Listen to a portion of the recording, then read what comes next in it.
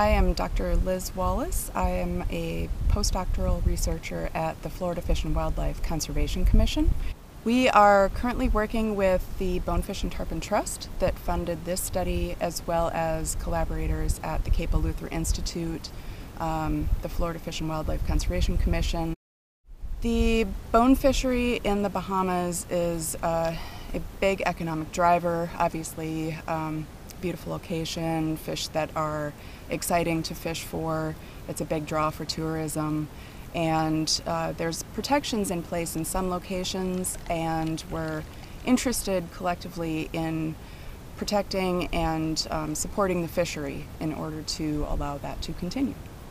And currently we are in Great Exuma, just outside George Town, um, collecting data for our bonefish genetic study um, which is part of the Bahamas Initiative. Uh, it's a program funded by the Bonefish and Tarpon Trust, and our current objectives are to tag uh, adult bonefish um, in order to document um, recapture locations, dispersal, um, that sort of information. In addition, the genetic component, we are collecting fin clips from adult and juvenile bonefish, and we are interested in determining how closely related populations of bonefish are um, among different islands within the Bahamas chain. So we're collecting in Exuma as well as some of the other islands in the um, greater Bahamian region in order to understand how closely related um, these individual spawning groups may be and how much self-recruitment there is uh, within a individual location such as Exuma um, or how much dispersal is occurring from one island to another um, via the uh, bonefish larvae that are planktonic. My name is Aaron Shultz, and I'm the director of the Cape Eleuthera Institute.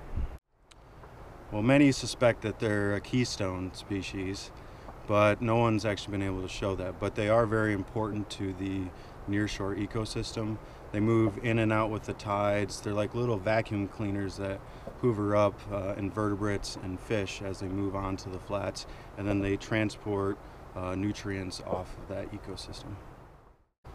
We've done about 10 years worth of catch and release angling studies on bonefish, and we developed a pamphlet on best handling practices.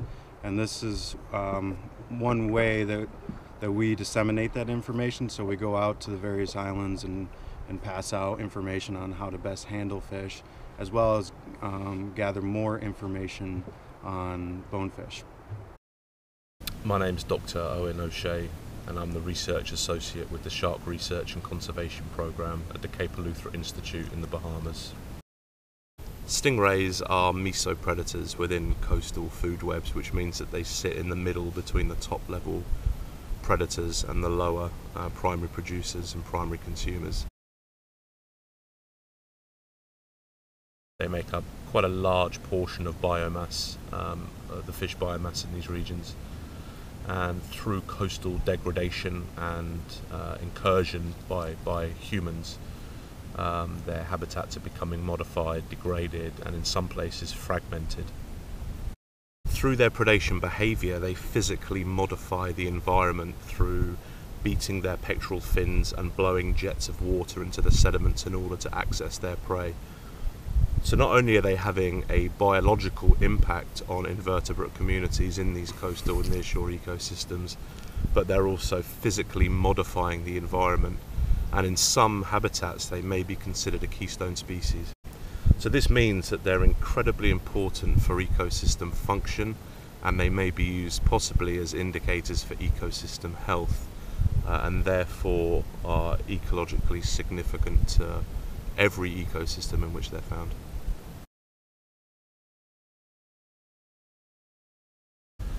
One of the main goals of the Southern Stingray Research Project is to assess long-term site fidelity habitat use and seasonality in a range of different coastal environments that these animals can be found in. But one of the other interesting questions that I'm hoping to answer is how habitat fragmentation is going to impact on population connectivity of this species. Currently we're in Great Exuma where we've been sampling southern rays at Hummingbird Cay and some other sand flat areas in the north of the island. And this is to try and assess how populations between South Eleuthera, which is 70 miles northeast of here, and populations here are genetically related. There are barriers to dispersal of this race because they give birth to live young, so it will be interesting to see how the connectivity of the Exuma island chain between Eleuthera and Great Exuma influences the distribution of this species.